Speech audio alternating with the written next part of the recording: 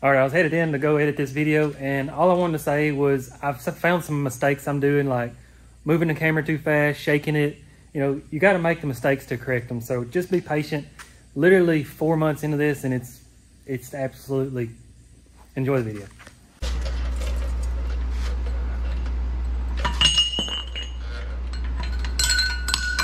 Oh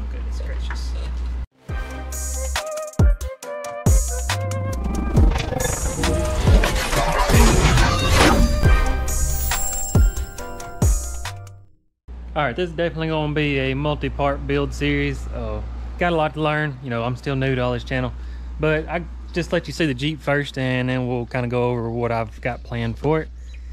01 Cherokee. I mean, motor's good. Uh, Rusty's long arm. It's actually got ABS. I don't know. I might leave that. Might take it off. Uh, most of the stuff's good.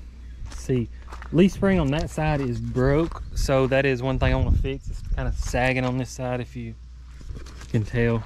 I don't care, but uh, probably ain't gonna do nothing cosmetic.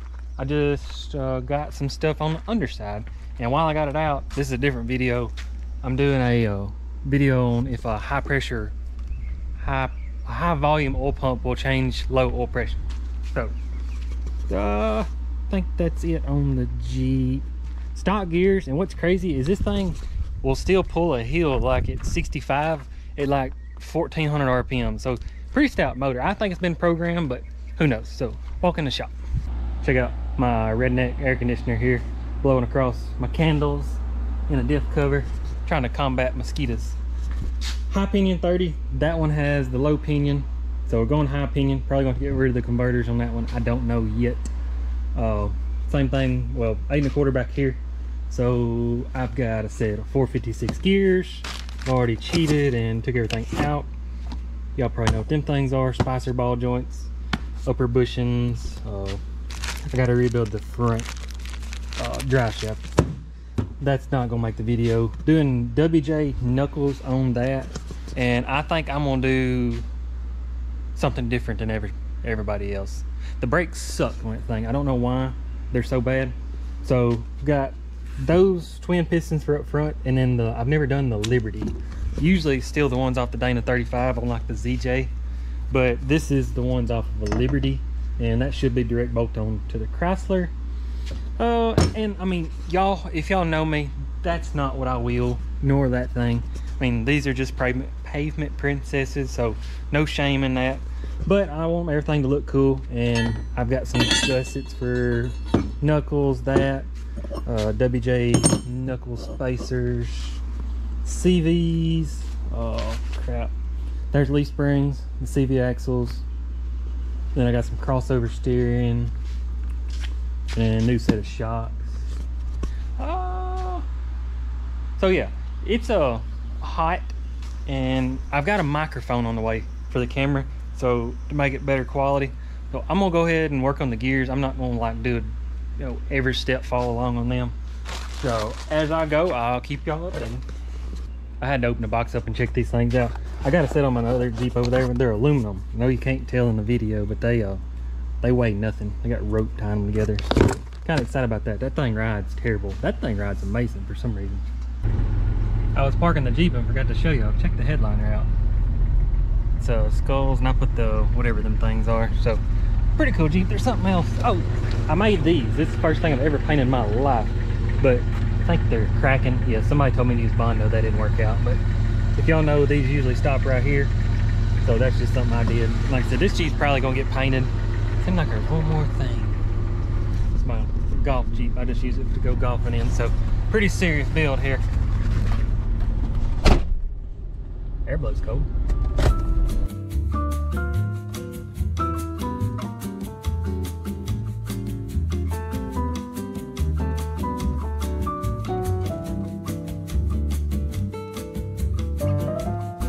Didn't stop the time lapse, but I don't forget to tell y'all this stuff.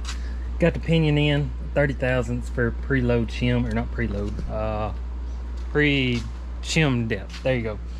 Uh, one thing, don't forget this. These bolts are right-handed, no, left-handed thread, so you actually loosen to go in.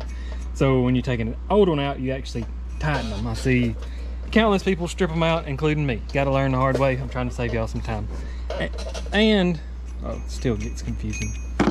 When you put this gear on, this pin is going to hit right in there. And I'll show you when I get there if I don't forget. But they say it's okay. Take a grinder, die grinder, whatever you got to get to get the pin in there. I don't know how they agree with that, but yep, making progress. Got the bearings off. Got the bearings pressed on. This is my favorite thing about the Chryslers is you don't have to worry about the shims left or right. It's got the turn, I don't know the name for them, whatever they're called. So got to get the gear on there and then start playing with some gear mesh. Got the gears in. I try not to overcomplicate them. This side, coast side looks good. This side's got flat lines right there. Never want flat lines. So you can go through this book and anytime the flat lines are on this side, pinion is too close. Same thing here, flat lines on the bottom, pinion is too close. So take it apart, remove some shims, try again. Something simple I always do, just put a piece of soft metal between your hard gear or hardened material. Maybe won't booger the threads up. Get that knocked off there and show you what I'm doing. All right, I'm not gonna get no, too technical on the gears, but this is kind of crappy. Oh, I don't know if you're supposed to, when you do builds, like name off, I got Precision this, eBay that, Spicer, Richmond gears. I don't know if that's the proper way. So I'll just kind of say it as I go along, maybe. So I got Richmond gears and they sent me like, the shims are weird. There's a 12, a 18, and three nines. And I had a 12 and 18, which makes 30. And by the book, I need less. So three nines is 27. We're gonna try it. I don't know, it's kind of a gamble. But I ain't got much to work with, it's weird. Well, I believe this is my sign. Uh, messed the nut up. I don't know if y'all can see the threads in there very good. And the one they come with is good, but it's a bigger nut. It's a bigger size. And the socket that fits it don't fit the yoke. So, it's dark. I'm gonna find a yoke in them or a nut in the morning. All right, we ain't got a, a gooder nut. So we'll clamp her down, see what the gear mesh looks like. One of the little tricks I was gonna show you is the way the Chrysler one is. I leave this one where it's at and only loosen that one. That way when you go back together, you can just tighten this one up and the gear mesh should be relatively close. And that's what I was gonna say. If you can see the straight lines on that one right there, that's what we're trying to get rid of. This one's usable. We're trying to get rid of those straight lines. So moved it in. Let's see if that took care of that. I may delete the seam, but you can see the straight edges right there at the base of the uh, like bottom of the gear. So we'll cover them back up, re-smear this side, and try again. I've done like a ton of gears. Like, I don't know how to explain how many sets of gears I've done. But this is my first time doing Richmond gears, and I don't know if I'll be buying them again. I will say Motive gear and USA Standard. Motive, I can usually get Motive on like the second, some, well, other one I did the other day, I got both of them the first time. But finally got, uh, got a smooth pattern on drive side, and got a smooth pattern on heel side. Pushing the limits on uh, backlash here, but we're gonna let it ride. So, oh, I gotta, you have to grind this pin right here. I don't remember if I ever said that or not. You gotta grind these pins right here to get the uh, pin in. So I'm gonna get that knocked out and I guess start on the front gears. This right here is what I'll be talking about. See, it won't, it won't go. So luckily mine lined up perfect. I just got to trim on one. So yeah, I'm gonna get the grinder out and then I gotta clean all this yellow crap up.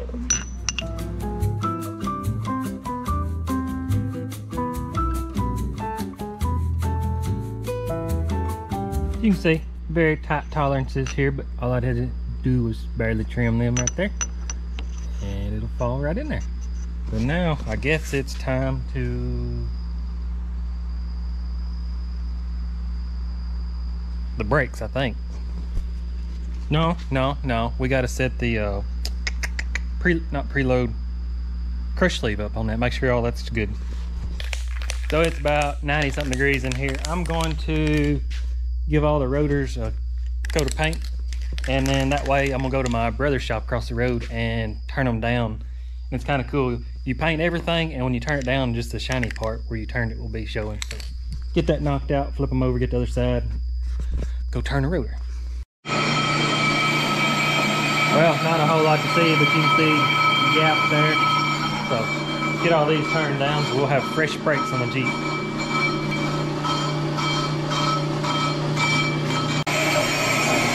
Decided to hang some beads off this thing.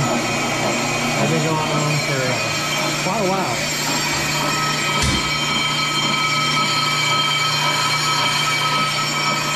Got the rotors done. You can see what I'm talking about. This one turns out it was beyond usable. It's actually like angled. So got them knocked out of the way. You can make noise. One step down. Fun fact, this Jeep right here, ZJ, it don't have a harmonic balancer. The rubber fell off or whatever you call it. So I just got a shorter belt. AC works, got power steering. I got a short video on it somewhere. Pretty crazy. All right, I'm back in the shop here. I'm gonna knock the front gears out quick as possible. And like I said, I won't get those done in case whatever. I don't really know why I want to get those done. What I'm gonna do, try to walk y'all through some just little tricks here and there. Uh, these are like 20 bucks. So if you want to put gears in, these are really help out. And if you go to this book, I'm sure you can internet research this. It tells you it's called o OEM shim depth is what it's called. And if you look, I don't know if GoPro likes doing this. Come on, man. $4 camera can't read numbers. I ain't gonna do it. Uh, Dana 30 is 65 thousandths. And that's what you have to account for what's called the oil slinger. That's usually, that varies on like factory setups. Those are all different thicknesses. So in a kit, that's 30 thousand. This is like the oil catch ring, holds oil up in the bearings up there it's 20,000. So really and truly, you only have to add 15 thousandths of these pieces that go behind there. So just the more you know. Uh, got gears on there, got the bearings. I'll show you another little trick here in a second. And uh, I don't know whether to add stuff or not. If you want to pull these bearings off, I know they make fancy tools. This thing at Harbor Freight's about 20 bucks, or maybe it's a little more. But all you do is slide it clamp it behind there and then put this on and then I've got just some random bolts. You don't have to have these specific ones. And then you clamp these down holding that on and don't have to be my tool or not. But I stick something off in the hole and then same Harbor Freight jig right there go across it and it'll pull that bearing off there. So I know them tools are intimidatingly expensive and I don't have them and I still get the stuff done so yeah Go get the gears mocked up. Why not freeze on camera? I'm glad I do this for, well, don't do it for a living, but I've done it before. They did not send the, what do you call these? God, why not freeze on camera? Crush sleeve eliminator, bush, or shims. So luckily I got some of them get the job done. And that's what I was gonna say. You do not have to worry about these until you have your in and out right, and then you come back and set this up afterwards. Don't matter. Just get it tight enough where it's resistance. All right, I got the gears set off in there. Just random little tips as we go. The caps, in case you didn't know this, I know I've done videos before, but they have letters or they're different orientations so you can't get the caps mixed up. And then shims go behind these on certain year models. And what I do is I take uh well you have to find the right size shim. And I put them on the outside and get my backlash just right. And then I'll pull them off and pull the bearing off. Usually depending on application add five six to ten thousandths on each side. And that way, way when it presses together it's tighter. But then the carrier will actually stay up in the hole dog. So just a little trick uh more oh that's another thing. I know these little white peanut styrofoam things you wouldn't think would mess you up but they'll have that yellow crap smeared everywhere so get all them took care of. Man i don't know if y'all ever use that uh yellow stuff to mark gears with. So aggravating. I put two dabs on it. Now it's everywhere. But the gear mesh is good so i'm gonna try to get all that stuff cleaned up and move on so I said I wasn't gonna add much gear knowledge to this video, but there's so many little secrets I know will help people along the way. And I may have confused you earlier, but what I do is take these that'll fit right here, and you can't get many of them in there good and tight. So I just get it as best you can. And what you do is you have to pull this bearing back off, and then you have these shims. And they go underneath there. That way you can, like, you know, I wouldn't say hammer it in there, but you can forcefully put this back in there, and it'll be right on the money. So take these out, measure them. Usually I add about five thousandths per side, but I wanted to tighten the backlash up. So I'm gonna measure this exactly, and then I'll probably put like eight or 10 thousandths on this side. and That should bump it that way.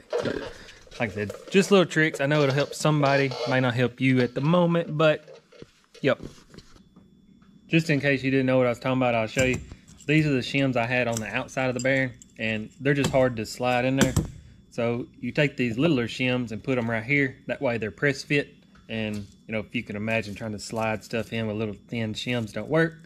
So this is what I said. I'll measure these out, whatever they are, and I'll add about seven, eight thousandths on this side. Press it on, and you're good to go. Crush sleeve eliminator shims. I remember today. Uh, got crush sleeve eliminator shims set up properly, and this axle seal is missing. This one's half in there, so I got new ones. Before I forget, I'm gonna knock them in there, but got the gear mesh. I think I'm gonna knock these axle seals in and probably start welding some stuff on there. Yeah. So nobody likes doing axle seals, including me, but I'll show you what I do. I got like a really long half extension. I got like a cheap adapter put in there to hammer on. And then I've got a socket. So a little tricky to get set up, but there's just no easy way to do it unless you've got like a professional tool. So it does work, just kind of aggravating. Just personal preference. I put Permatex around there. Feel like that helps seal better and it's some form of lubricant to go in there. So that definitely gotta help. Now I'll stick the seal close up in there. Put my socket on. And then get a hammer.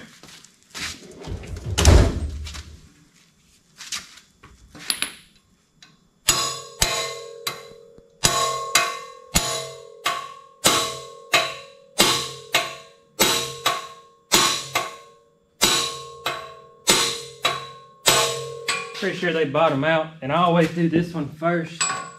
That way this uh, extension has something to rest on going this way. Help it line up a little better. All right, got the axle seals popped in there. Everything's bolted up. Uh, I bolted these up. I hope they're right. I'm gonna go ahead and fully weld them, get that knocked out. Uh, still got something cool coming on the knuckle. I don't know if it'll be this video. And let's see. This thing, common sense goes, yep, I said common sense, can't get it in there. You got to finesse it, kind of beat it in there with a hammer. I've already actually twisted it in the vise to make it fit a little better. And I hope I ain't already said this in the video, but I just assumed that the bigger one was for the bottom. I chased that thing around forever. And turns out it hooks right in there. I think I got it the right way. I believe I do. And I guess you tap that down with a hammer and fully weld that yeah, that's got to be the right way. So probably a little finessing. Probably got to grind it here and there. Get it perfect fit. And then these things, these are lower braces, lower knuckle braces. And they are per side. So I think it's the way it goes right there. I don't really think you need them, but I bought them. And I'm to throw some uh, pair of breeches on and get this welding done before it gets scorching hot.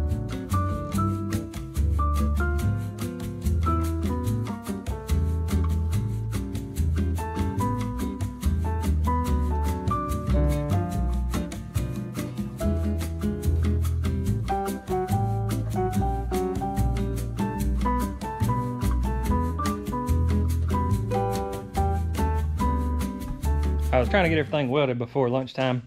Didn't happen. Got this welded up there. Uh, that one halfway welded.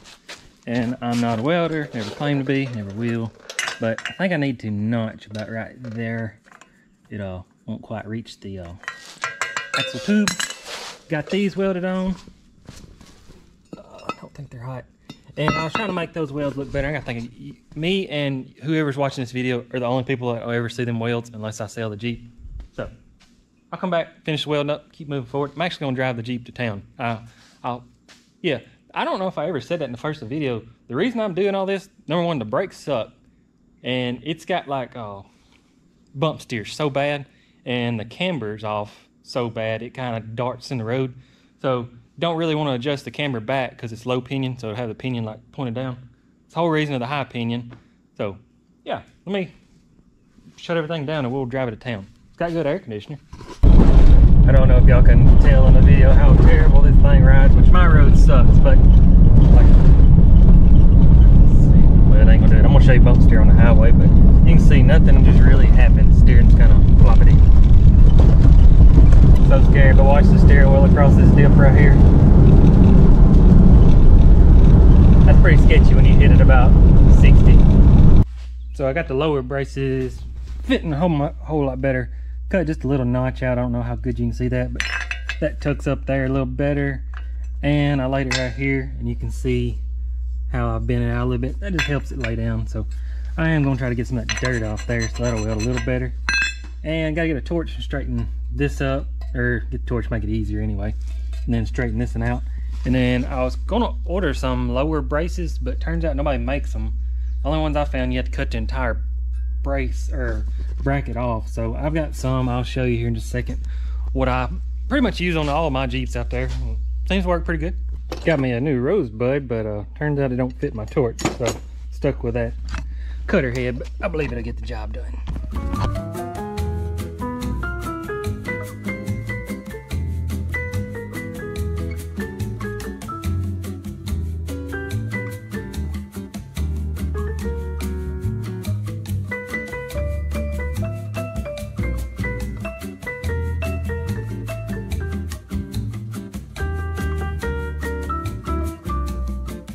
It for sure ain't perfect, but it'll get the job done. So get those pieces cut out. I might just use a torch on them. I'll show you what they look like. So I uh, just cut some little tabs there. I'm gonna let them air cool. And I'm gonna, well, that's what I was gonna say. I was gonna bolt the uh, brakes up on the rear because FedEx just came by. But I realized the axle won't support it itself without no bearing. So I'm gonna put the bearing in, no seal. Because I still don't know if I'm gonna powder coat these or what I'm gonna do. But we'll get the seals or the bearings. The bearings knocked off in there.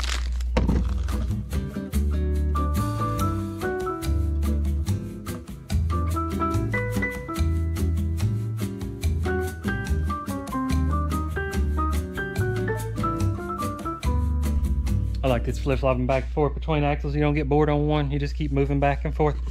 So about forgot the backing plate. That's the whole reason you had to take the axles out.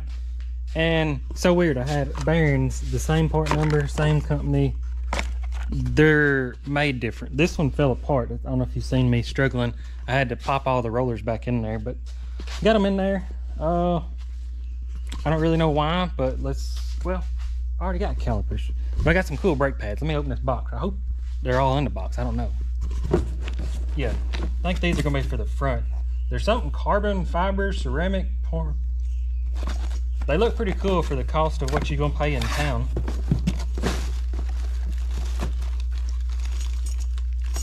Yeah, they come with rubbers and everything.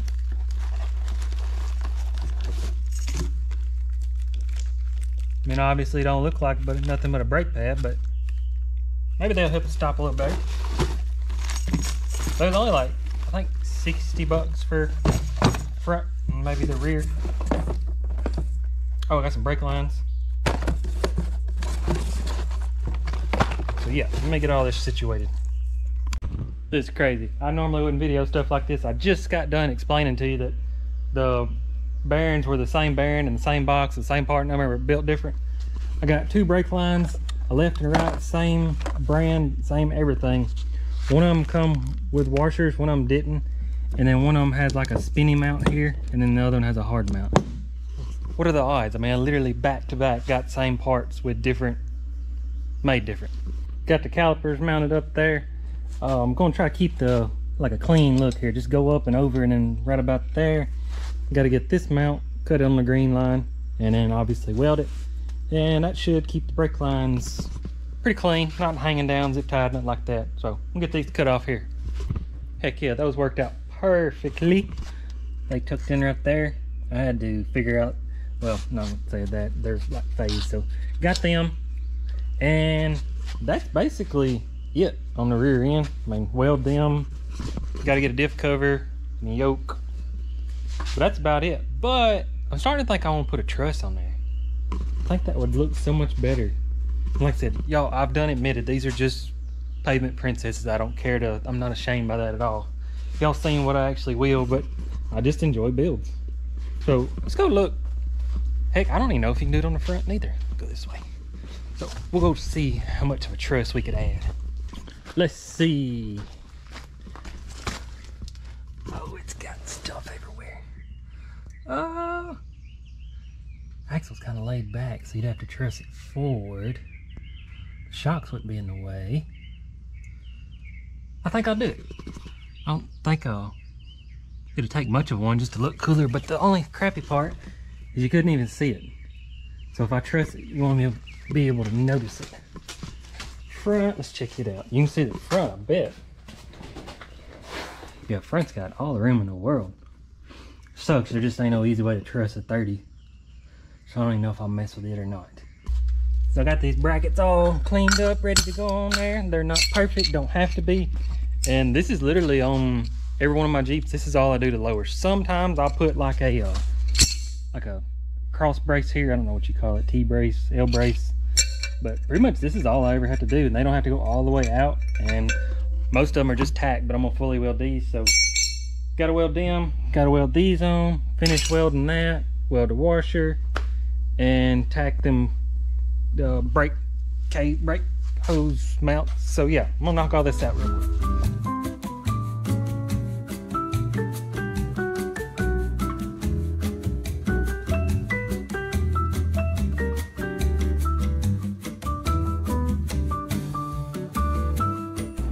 Much more respect to all the welders out there. It's the wrong time of year to be doing these projects, but I want to be able to drive the Jeep. It just kind of sits there. I don't drive it because it's horrible. Oh, got everything welded, and that's what I was going to say. I talked myself out of trusting it because I get carried away with these builds. I get excited about this, that, and the other. Next thing you know, it, it just never ends. That's But that's usually where my cool stuff comes from. But uh, that's done. Got them tacked on there. I still think I'm going to order diff covers. Waiting on brake pads. This one, I'm gonna go ahead and push the bushings in, push the ball joints in, and I am gonna do something cool with the knuckles, so we gotta get there. And that's what I said, if you really look, this axle's been hacked on before. So if somebody crawls under there and sees that stuff, they're gonna find something wrong. So I'm not stressing that, it'll do the job just fine. So yeah, let's get these bushings pressed in there. That, God, I hate doing that. And the ball joints man i wish i'd got that on camera. I wanted to show y'all the setup i use. It's the standard rent-a-tool whatever. And if you can tell that one uh, it fits on this side and then a little spacer and that and that pushed it right up in there. But you really need that to keep it from collapsing. And the next part i've been doing this a long time. I know well yeah. But these never fit. That's what i went and got fancy tools here. Comes out to 180 10, 107, and this comes out to 17. So that's 20 thousandths, which is a lot. So what I do is take a Dremel or a die grinder and waller that out there, or you can probably grind some off that. Been doing it for a long time. I don't know if it's just the wrong bushing, but I, I've never found a solution. That's just what I have to do. But if I get it dremeled out, I'll show you it going in there one of these things and just go at it like they're right there.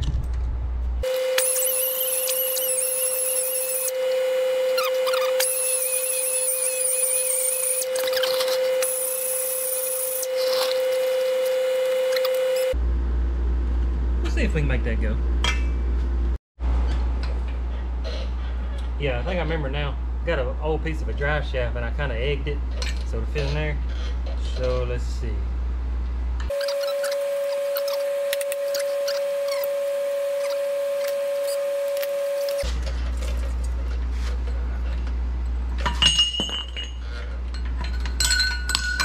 Oh my goodness gracious.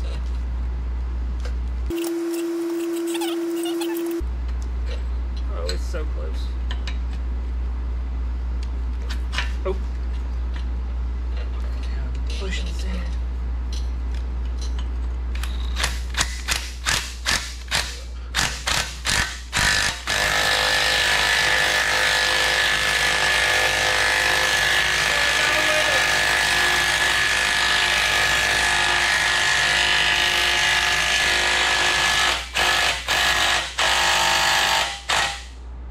Woo! Would've been- That's perfect. I wouldn't, if I hadn't uh, dremeled that out, there's no way that that'll go in there. These are precision from O'Reilly. Some other brands, I don't know. Maybe I'm ordering the wrong bushing. Because these are for a control arm. I never even thought about that. Crap. If if I find that out, I will let y'all know know somehow. Because that may be a different bushing. I just assumed it's the same one. If I've got a, if I've got any tricks for these things right here, I'll show you. And that's what I wanted to add.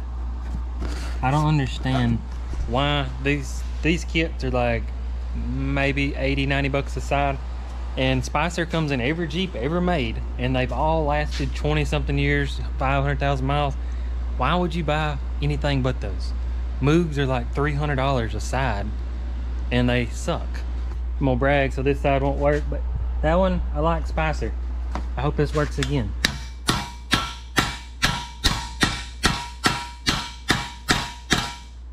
I'm gonna finish tapping it in there. That one fell right in. That one had a little crusty, rusty stuff in there, but now we get to try the ball joints.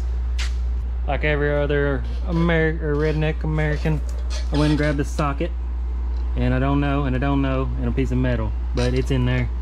I I don't do ball joints usually. They never go bad, but this is the build, so we're doing them. All right, somehow I messed up and forgot an ending to this video, so I'm actually on part two right now, working on it. Got everything in the mail. So yeah, appreciate y'all watching this one, and maybe we can get the thing riding, driving better soon.